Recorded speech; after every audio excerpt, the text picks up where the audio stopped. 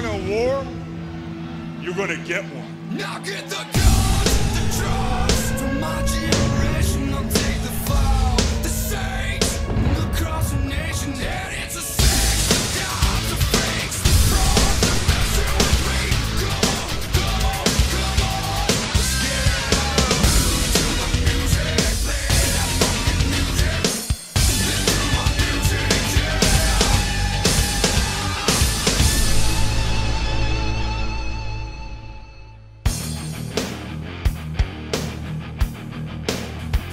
Welcome to episode 90 of Reliving the War, and welcome to the 30th of June 1997. You know how it works. Raw's live tonight from Des Moines, Iowa, while WCW are putting on a hyped up show from Las Vegas, Nevada. This is the night where the Impact player gets revealed on Nitro. The commentators have talked about this quite a lot, and they don't stop talking about it throughout this whole Nitro broadcast. On Raw, fans are going to hear The Undertaker's secret when Paul Bearer spills the beans, so it sounds like we've got two interesting shows this week. We kick things off on Raw with a Ken Shamrock versus Triple H match while Ric Flair cuts a promo on Nitro. We also have a Juventud Guerrera versus Chris Jericho match. Ric Flair brings two ladies to the ring, and those ladies are holding a creepy Roddy Piper mannequin. Kinda reminds me of when Goldust done the same thing back in 1996. Remember that? Flair says he gave Piper a night with these two women, and this is what's left of the hot rod. Horseman business can do crazy things to a man. One of them wants to know why they call him the hot rod because Piper isn't hot. This cracks Flair up, and it wasn't even that funny. Flair says Piper crossed the line last week when he tried to tell Rick how to wrestle a wrestling match. He then echoes what Hulk Hogan said a few months back and what Guile says when he wins in Street Fighter, and he tells Piper to go home and be a family man. And the Las Vegas ladies totally screw up when Mean Gene asks them if Ric Flair is truly the 60 minute man. Is he truly the 60 minute man? Like 30 seconds. What? One doesn't even know where she is, and one wasn't paying attention at all. Well done. Flair says the kilt is all that's left of the hot rod. They have a moment to reflect on Roddy's career, and Mean Gene gets himself prepared for some serious, no nonsense, filthy horseman business as the promo comes to an end. Ric Flair versus Roddy Piper is going to take place at Bash at the Beach. After the commentators try to rope you into not switching over to the USA Network, we go to our first match Juventud Guerrera versus Cruiserweight Champion Chris Jericho. Uh, Cruiserweight Champion? Yeah, Chris won the belt at a Saturday Nitro house show two nights prior. He won the belt in 30 seconds. Syxx wrestled Rey Mysterio before having this match with Y2J. Saturday Nitro was broadcasted on the internet, but it was only an audio feed. I don't think the match was officially taped. The commentators use this match to hype up the mystery Impact player who's going to appear tonight on Nitro. They hype up Rodman and Hogan versus Giant Package at Bash at the Beach. And I hate to highlight stuff like this, but Juventud Guerrera absolutely sucked in this match. He almost brained himself when performing a hurricanrana, and he fucked up twice when performing springboard moves. Not a great night for the Juice, and even the commentators mentioned that Juvi was off. He tried to make up for it though, to his credit, but in the end, Jericho pulled off an incredible Super Frankensteiner, and he followed this up with the Lion Tamer. Chris gets the win. The standard is set so high for the cruiserweights at this point, and that means the botches can really stand out sometimes. Jericho says afterwards to Mean Gene that the Cruiserweight belt isn't an NWO belt anymore, it's a WCW belt. Syxx comes out and he says Chris beat nothing on Saturday night until he went back to his hotel room that night. Amazing. Even Chris had to applaud that one. Syxx says he's still the champ and he'll give Jericho another shot. He then slaps Chris across the face. Keep an eye on Mean Gene here, he gets a bit tangled up.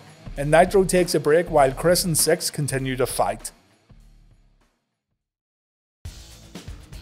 Before his match with Kenny Boy Shamrock, Hunter says he has something better than the world's most dangerous man, the world's most dangerous woman. Triple H mocks Shamrock on his way to the ring, and the match they have here is pretty straightforward. Ken keeps catching Triple H out at the beginning of the bout, and Hunter eventually has to cheat to get an advantage. The Earl Hebner versus Triple H rivalry continues when Hebner has to pull Hunter by the hair when Trips won't stop attacking Shamrock. And when Chyna gets involved on the outside and Shamrock gets thrown into the steps, Mick Foley makes an appearance. Mankind distracts Hunter long enough for Kenny Boy to wake up. Ken hits a belly to belly suplex, and the King of the Ring gets pinned by the world's most dangerous man. Triple H vs Mankind takes place this Sunday at Canadian Stampede, while Shamrock's involved in the 10 man tag main event. Just a reminder that I covered the whole Canadian Stampede pay per view previously. It isn't in the same reliving the war format, but there's no point in me going over it again. So you can check that video out right after today's video if you want to keep up with the timeline.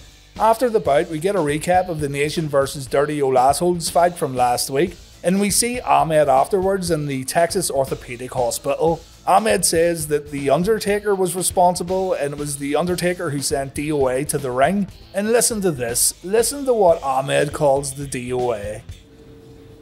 Whatever you want to call them, biker, Michael Liker, whatever they are. Bi- biker, Michael Liker. Uh, let's hear that one more time. Whatever you want to call them, biker, Michael Liker, whatever they are. Whatever you want to call him, biker Michael Liker.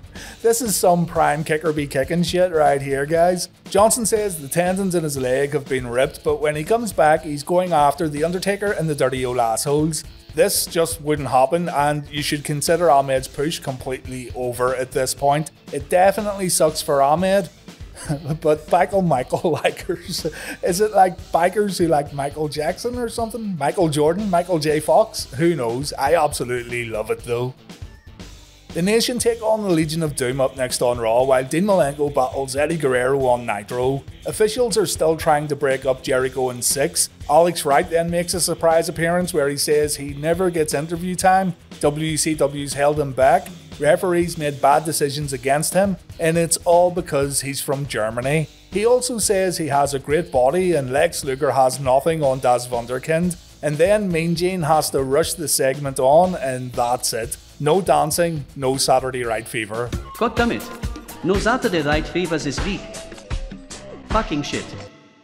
I'm surprised, but not surprised that this Guerrero versus Malenko match is taking place on Nitro. There's more story behind this match when compared to their previous Nitro encounters, and I think this could have warranted another pay per view match. Neither man gets featured at Bash at the Beach. Eddie's in ring return to Nitro then, and he starts it off by attacking Malenko on the outside. Dean gets thrown into the steps, and when the match gets in the ring, Malenko gets floored with a hard clothesline. Eddie twists his foot on Dean's face, and it looks like Guerrero's really enjoying himself here. Eddie hits a suplex followed by a jumping elbow attack. He misses a senton from the apron, but a quick recovery sees Guerrero going back to the apron, and Malenko gets his head smashed in the top turnbuckle.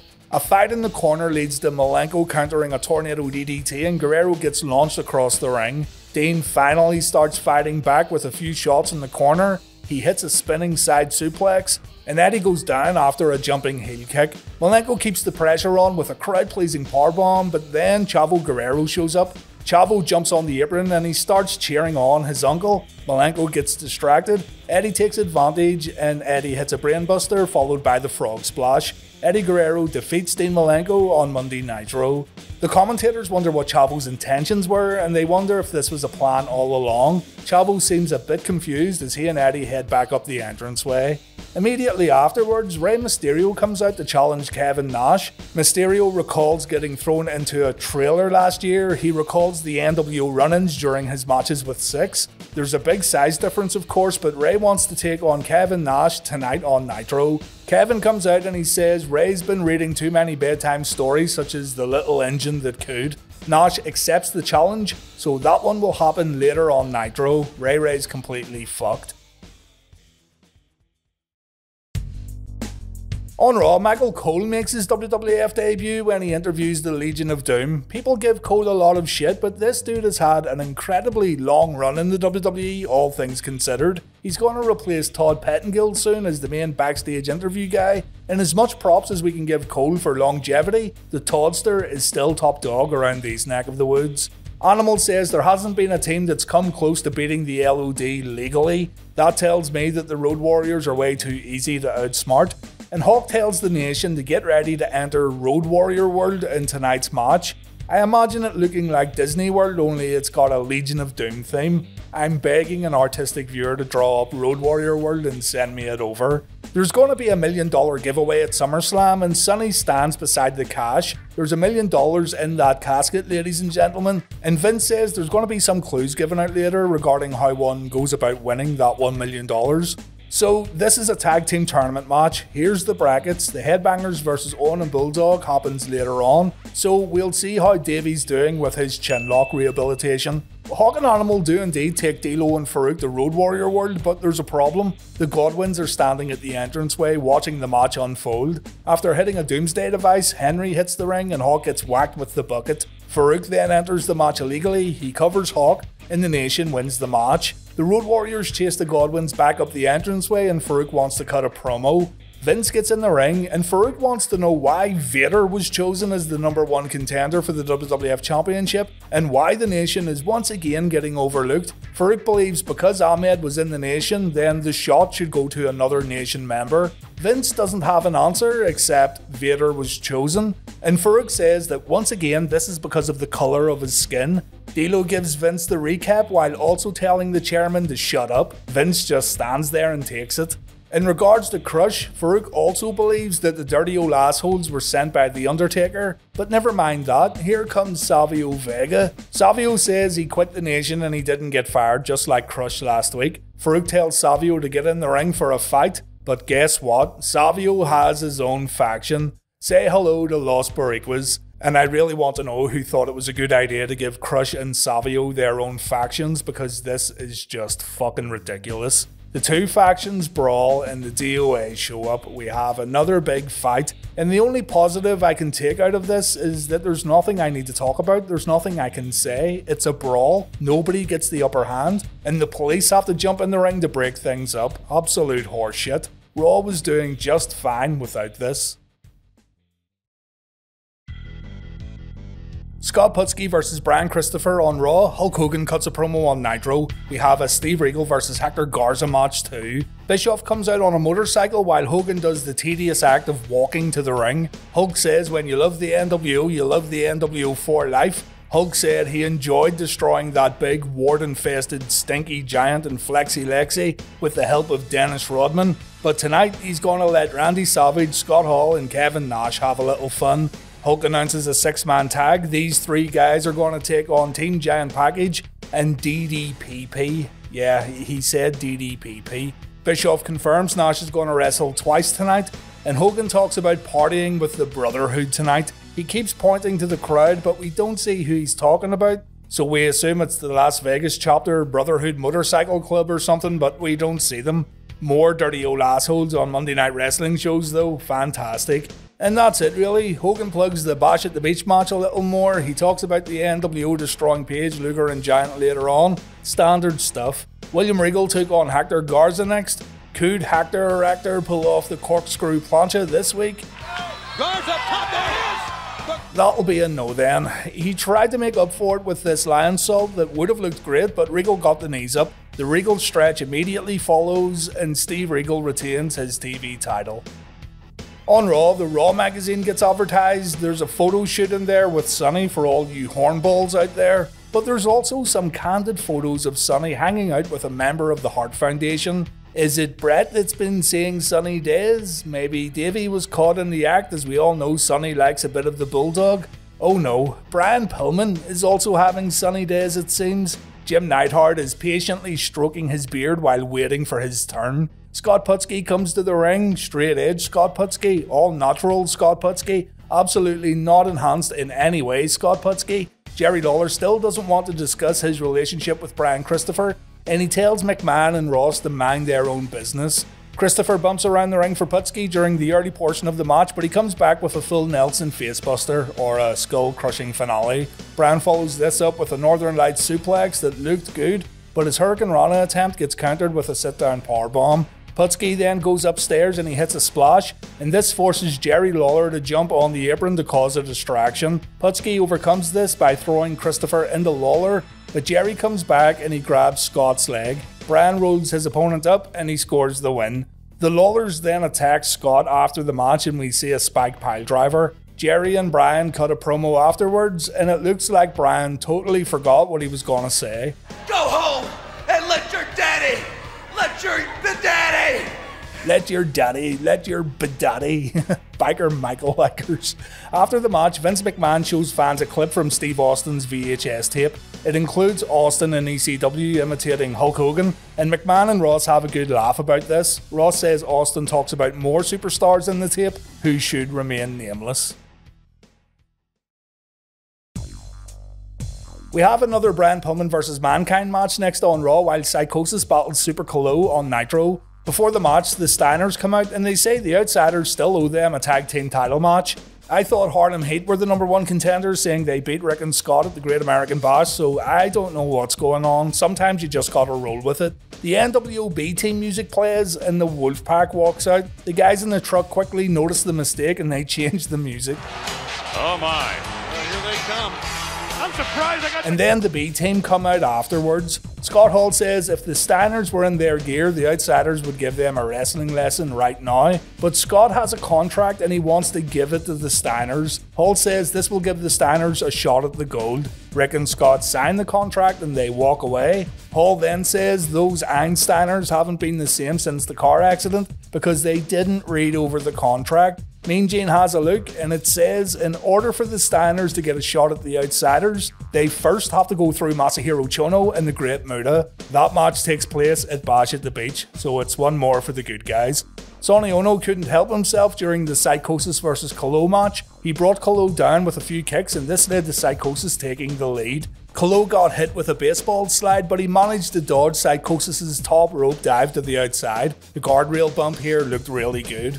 Onoo stops Calo from suplexing Psychosis back in the ring. Psychosis then pins Calo, and Onoo was supposed to hold Calo down, but he couldn't reach. Still, it's a victory for Psychosis. Calo hits a hard back elbow after the match and he begins attacking Psychosis like the sore loser he is.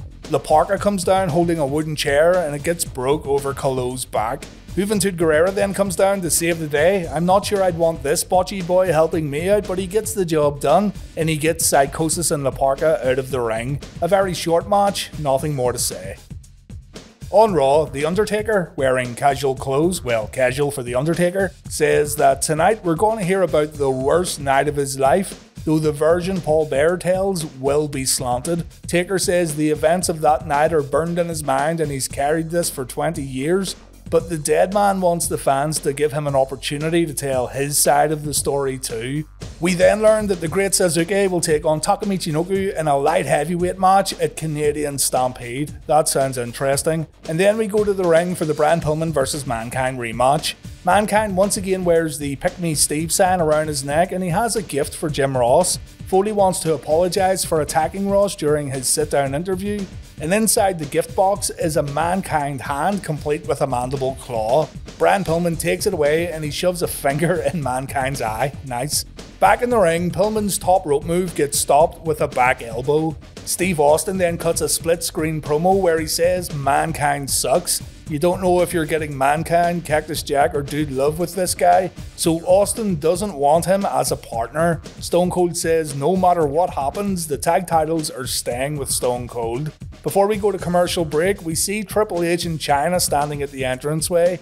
We come back and Mankind hits a baseball slide, but Pillman evens the odds with a ring bell shot. Foley gets his head rammed in the ring post. Pillman then targets Foley's ear or his half ear, and Brian even tries to use a pencil here. Jesus Christ. Pillman manages to stay in control at the other side of the ring when Foley runs into the steps. Brian then bites at Mankind's ear in the ring and he spits on Foley. The loose cannon is getting seriously vicious here, but Mankind turns it around with a ring post nut shot. Brian sells this wonderfully. Foley then signals for the mandible claw, this should be all over, but Triple H runs down the entranceway to break things up. Foley takes care of Hunter with a right hand followed by a mandible claw on the outside, but a Chyna distraction allows Pillman to hit Mankind with his boot. On the outside, we see a pathetic accidental chair shot from Triple H, made even worse because the chair was padded. And Mankind chases Hunter back up the entranceway. Mankind screams Helmsley's name into the microphone before Raw moves on, and this wasn't a bad match at all. Paul Bearer reveals The Undertaker's dark secret next on Raw, while two matches take place on Nitro. The NWO, consisting of Bagwell, Norton, and Chono, versus the Horsemen, consisting of Mongo, Benoit, and Ric Flair. And we also have Wrath and Mortis versus High Voltage. WCW are trying to cram way too much into this show, it seems. It's one of those nights where nothing settles down. Masahiro Chono brings a katana to the ring, but you know what's even more deadly than a samurai sword? You guessed it, a magical motherfucking briefcase. Jeff Jarrett is still on Horseman probation. Mongo faces Jarrett at the pay per view, while Chris Benoit gets Kevin Sullivan in a retirement match. It took a retirement match to end the Benoit versus Sullivan rivalry. This one could have been good if it was given more time. Bagwell got the better of Flair at the beginning of the match. Mongo had to overcome the NWO using underhanded tactics to keep him at bay, but the big man brought Chono to the horseman corner, and things began turning around for the babyfaces. Or no, they aren't babyfaces, are they? Uh, Benoit and Chono had a great exchange that ended with Chono taking the diving headbutt, but things quickly broke down and all six men began fighting. Vincent runs down and he causes the NWO to lose via disqualification. But Big Mongo doesn't let Vincent escape unharmed. A shot with the briefcase puts Vincent in a coma for a week, and the Horsemen celebrate in the ring. Tony Schiavone calls this a big win for the Horsemen over the NWO, and I say that's a load of nonsense. It's a DQ victory handed to the Horsemen by Vincent, and it was over the NWO B team. I enjoyed it while it lasted, though, that's what she said. Next up, we have the greatest tag team to ever grace our television screens, Wrath and Mortis, and they're going to take on High Voltage. Again, don't get settled in for this one, there's no match here really. Mark Curtis decides to let the guys all stay in the ring at the same time, nobody gets sent to their corner, and Mortis and Wrath make easy work of High Voltage. Wrath, in particular, is doing some good damage. Just when you begin enjoying this beatdown of epic proportions, that no good son of a gun Glacier shows up to cause a distraction. Wrath leaves the ring to take care of this little twerp, but that gives Ernest Miller a chance to hit a spin kick from the top rope, leading to Mortis getting pinned by Robbie Rage. Low down, scummy, dirty, stinking, rotten hyena cheating bastards. Vandenberg says Ice Ice maybe are gonna pay for this, and I really hope they do. The secret then on Raw, everyone watching this will know what it is, and I've covered this before I think in two videos, so we'll get through this as fast as possible, but to change things up, I'm going to try to tell this story using nothing but stock footage. It's a challenge because I don't know what stock footage I have, so I'm going to curse myself when editing this video later on, but let's see how it turns out. Before that, though, a creature of the night tackles Paul Bearer as Paul tries to get in the ring. The WWF thought that The Undertaker's most hardcore fans were unstable goths. So, let's roll the stock footage. Paul says we're going to go back 20 years. We're at a funeral home on the hill, beautiful oak trees all around. A family owned the funeral home, they lived upstairs. Uh, wait, fucking Vince McMahon is corpsing hard here. This isn't funny, Vinnie Mac. Get it together. Right, family owned funeral home. The dad was the mortician, the mother was the secretary, and there were two little kiddos. One was a little red headed punk, The Undertaker, and the other was a sweet little kid. His name was Kane. Paul worked as an apprentice at the funeral home and he saw a lot of things that shouldn't have been happening. That little red headed shitbag, he had the look of the devil in his eyes. But Kane, he looked up to his big brother.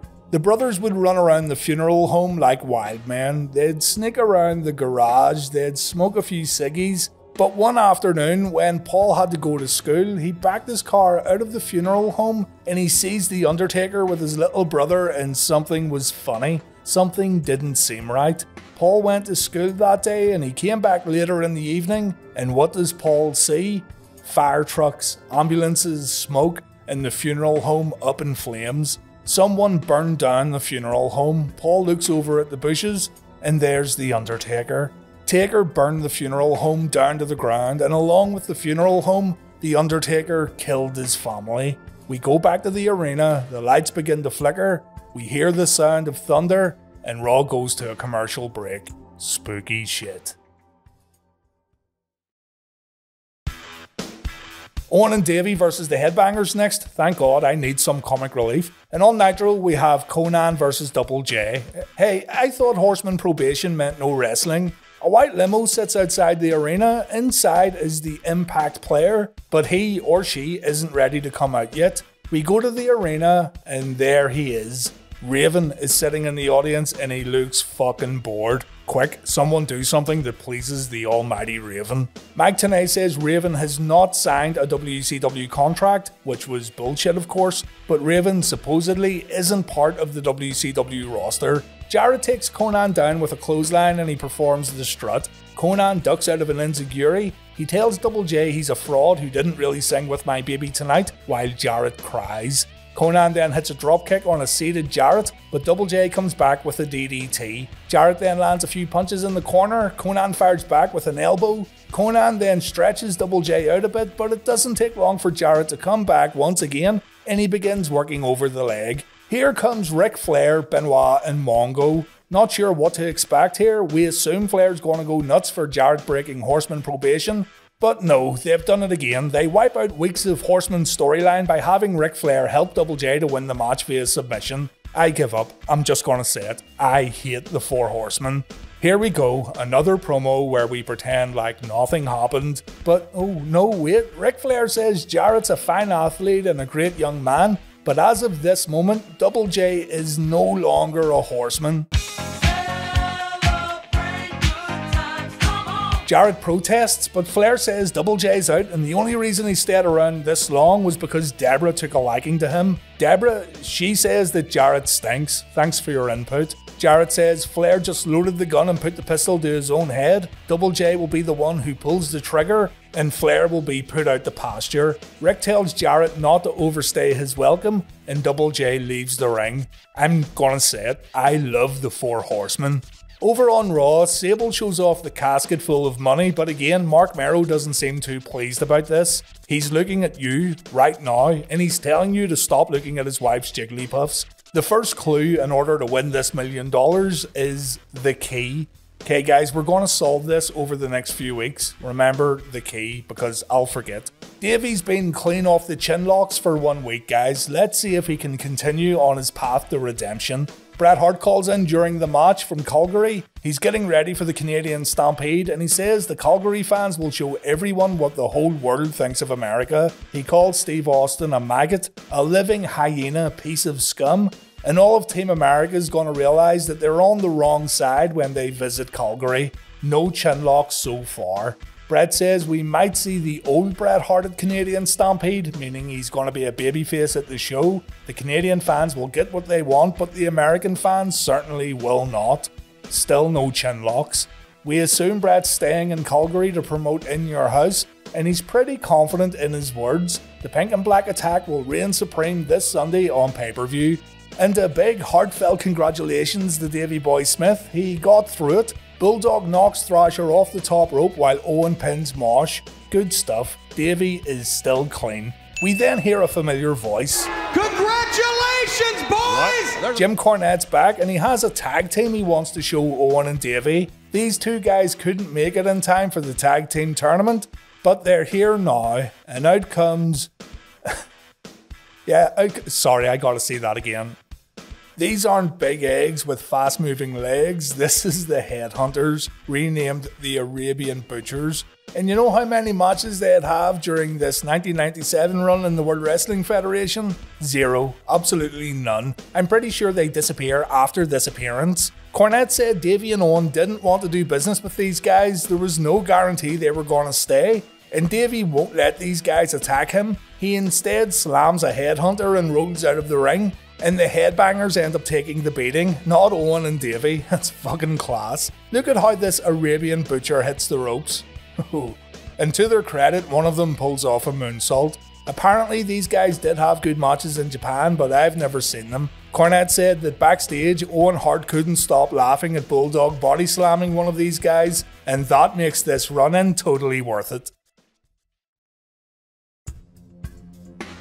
Undertaker cuts a promo next, and we have Rockabilly versus Vader. On Nitro, Rey Mysterio does battle with Kevin Nash. So, what does The Undertaker have to say about being a Goddamn murderer! Taker says he and his brother were playing with matches that day and they were playing around with flammable liquids. Taker and Kane got punished by Daddy Taker and both kids were sent on their way. Later on in the evening, Undertaker was leaving the funeral home and he saw his little brother leaving the embalming room holding the flammable liquids. Taker then came back that night and he heard sirens. He saw the smoke filling the sky. He knew what happened straight away. He ran as fast as he could, and when he got to the funeral home, it was engulfed in flames. Undertaker went for the front door, but he was pulled back by firefighters. The Undertaker watched the funeral home burn to the ground with his parents and his little brother inside. Taker says he didn't attend the funeral because Paul Bearer brought him to the neighbouring funeral home to see his family, and the image of Taker's mother laying on the table haunts him to this day. Taker didn't want to see it, but Paul made The Undertaker look at the charred remains of his family, a day that changed the dead man forever. To deal with this tragedy, the Phenom had to look at death and understand that without death, there can't be life. So Taker took it upon himself to walk a path that others don't choose to. Taker draws the spirits of the dead, and the spirits of his parents and his little brother will strike Paul down. We just heard the origin story of The Undertaker seven years after his debut. That's pretty impressive. From this fascinating piece of character work to Rockabilly, you kinda snap back to reality when you hear Rockabilly's theme music in the arena. Don't worry though, the dead man interrupts this one and he goes after Vader. This happens very early in the match. First, gotta bring attention to this hard man right here. He thinks he could kick Rockabilly's ass, and I'll bet anything that he couldn't. So yeah, the dead man runs down, he beats up Vader, Paul starts calling him a murderer, and so the Undertaker slaps the shit out of him repeatedly. Taker tells Paul to tell the truth, and Paul says he did tell the truth because he heard it all from Taker's little brother. That's right, Kane is still alive, and the Undertaker doesn't seem to believe it, seeing as he continues to pimp slap the shit out of Bearer mid promo. Vader gets in a cheap shot and he and Paul escape up the entranceway, and the Undertaker's left wondering if Paul's words are actually true. Great work here, by the way. I thought all of this was really well done. Nash versus Mysterio is another non starter. Well, it does start, but it's a squash. It might as well not have been booked. Rey lands three drop kicks at the opening bell, and he also hits a springboard somersault senton. This gets the crowd all fired up, but Nash then puts an end to the offense with an inverted atomic drop that made Rey's asshole fall out of his mouth. Nash then throws Rey as high and as far as he possibly can. Ray then takes a jackknife, and that's it over. Destruction from Big Sexy. The referee tries to stop Nash from hitting another jackknife, but he does it anyway, and the ref gets floored afterwards. Nash goes for a third jackknife, but then Konnan comes out. Nash again hits the jackknife anyway, and Konnan makes his way down to the ring. Nash just nods at Konnan before leaving. We think Konnan is going to help Rey, but he tries to dislocate his knee instead. The commentators wonder if Nash and Konnan had some sort of arrangement, but that's how it ended. Rey gets taken out on a stretcher, and now we wonder if Konnan has ties to the NWO. If you like seeing how far someone can throw Rey Mysterio, then this is the match for you. We arrive at our main events. We've got that NWO versus Giant Package and DDP match on Nitro. On Raw, we've got Jim the Anvil Neidhart versus Steve Austin. The Raw main event doesn't sound like a barn burner at all, but let's check it out anyway. The Hart Foundation watched this one in the back, probably still laughing about Davey body slamming that headhunter guy. The Anvil attacks right at the opening bell, and we cut away again to Kenny Boy Shamrock watching the match too. The crowd pops when Austin begins unloading on the Anvil with rights and lefts, and Stone Cold follows this up with two hard clotheslines. Austin then applies a side headlock, Anvil with a top wrist lock into a side headlock of his own. Stone Cold goes down after a shoulder block. Jim applies another side headlock, and we see another shoulder block. Sweet. Stone Cold's Lou press doesn't look too hot afterwards. Stone Cold then goes for a sharpshooter, but he gets kicked away. We get a good long abdominal stretch with a little rope leverage. Everyone loves seeing that one, don't they? Eventually, the two end up on the outside, and Stone Cold hits a slam on the rampway. We go to commercial break, and during the commercial, Bret Hart showed up and he attacked Ken Shamrock. Ken doesn't have the jam. And speaking of jam, remember I asked you guys last week to send me your sick photos with reliving the war merch? Well, check this out. This is Chief Big Canoe, and they don't call him Chief Big Canoe for nothing. A majestic photo in the snow, the glorious winged eagle belt, the Bret's jam shirt, the glasses, a consummate professional, ladies and gentlemen, a jam up guy. So well done, man. Back to Raw, and Bret had us all fooled. He wasn't in Calgary at all, and Ken gets his ass kicked courtesy of His Excellency. In the ring, Jim Neidhart's looking fucking tired as he chokes Austin on the mat. He gets launched off the ropes and he kicks Stone Cold as if to say, nah, I'm not doing anything else. And then he performs a chin lock. Fortunately, Davey went to the toilet and he didn't have to see this. No relapsing this week on reliving the war. Austin fights out, Anvil applies a sleeper, Stone Cold catches flies, and we see the jawbreaker. Anvil then stops the action again with another rest hold, a front face lock. Jim uses his last bit of energy to hit a body slam. He dives from the middle rope, but he misses his target. Stone Cold begins firing up, but before he can put the match away, Bret Hart interferes. The ref calls for a DQ as the original Hart Foundation teach Stone Cold a lesson. Bret applies the figure four around the ring post, and this prompts Mankind to hit the ringside area to save Austin. Bret gets put in the mandible claw, and Raw ends with the Hart Foundation smacking Foley with steel chairs to break the hold. These Hart Boys are becoming a little like the NWO with all these DQ finishes. Not a great main event on Raw, sadly. Mike Tenay tries to interview Raven, but the former ECW champion isn't saying a word. Tenay wants to know if Raven's DDP's mystery partner at Bash at the Beach, or if Raven's had any contract discussions with WCW, but he isn't answering. Raven's being all moody and cool and shit. Kevin Nash is wearing a wig, and even the commentators have no idea what he's doing or why he's doing it. I assume he got that from the Roddy Piper mannequin. Out comes Flexi Lexi, the big stinky giant, and DDPP. We go to commercial break, and Tony Schiavone explains that the NWO wouldn't let the babyfaces step into the ring while the cameras weren't rolling. The fight starts with Page pulling Macho out of the ring while DDP and the Giant finally get a chance to enter. Page stays on Macho, we have a Giant versus Nash fight, and Lex Luger tries to deal with the bad guy. There's no tags here, this is the match, it's just six guys fighting. Giant hits a headbutt on both outsiders at the same time, but he gets dumped over the ring afterwards. Hollywood Hogan then shows up and he distracts Lex Luger. Luger sees the Scott Hall sneak attack coming, but Hogan still clocks Luger with the world belt. And then the rest of the NWO come down. Team Giant package get taken care of on the outside, while DDP gets destroyed inside the ropes. Macho hits the elbow drop twice on Dallas, and then shit haircut Sting shows up in the audience. The haircut was just a distraction though, as the real Sting comes down from the rafters afterwards, and he's here once again to protect DDP. He's like Dallas's guardian angel. The Impact player then makes his way down to the ring, and Curt Hennig is now part of WCW. But then Raven jumps the guardrail, and the commentators wonder what this means. Is Raven here to help Dallas? Is Hennig the mystery tag partner? All will be revealed next week, or it probably won't. Same Nitro time, same Nitro channel. I'm giving the point to Raw this week, and that's thanks to the great work of Paul Bearer and The Undertaker. The story told on WWF Raw would have a huge amount of importance, and it's something the WWF would carry on for years to come. The main event wasn't good, but the rest of the matches were better than Nitro's. Nitro suffered again due to the terribly short matches, and everything was at a breakneck speed. Although Raven showing up was good, as was Curt Hennig's debut.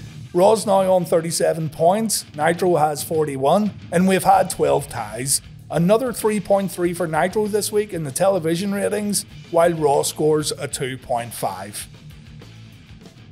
As mentioned, Canadian Stampede is already on the channel, so you can check that out right now if you want to see what happened in Calgary. Raw comes from Edmonton, Alberta, Canada next week, and the Hitman wrestles in the main event. Owen and Davey face the Nation of Domination, and Takamichi Michinoku faces the Great Sasuke in a Canadian Stampede rematch. On Nitro, Vicious and Delicious take on Eddie and Chavo, Randy Savage takes on La Parka, mm-hmm, and uh, these two have a match. Much thanks to each and every one of you for watching Reliving the War. I hope you enjoyed this one, and take care.